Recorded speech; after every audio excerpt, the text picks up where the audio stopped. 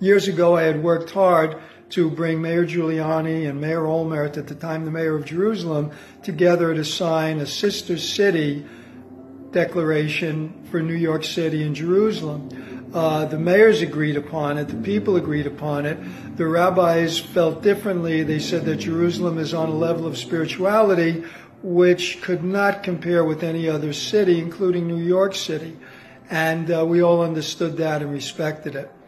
And that's the one thing we can come together on is our support of the state of Israel and uh, our willingness to disagree, to agree to disagree on so many different things. It's the one um, uh, debate or, or disagreement that we all can join hands on and, and end with a smile and be comfortable with each other's position and respectful for each other's position. And that's probably the only thing that connects Jews of all different backgrounds is at the end of the day we shake hands in support of the security for the state of Israel being the most one of the most common um, and important things uh, among all of us, uh, and especially Jerusalem.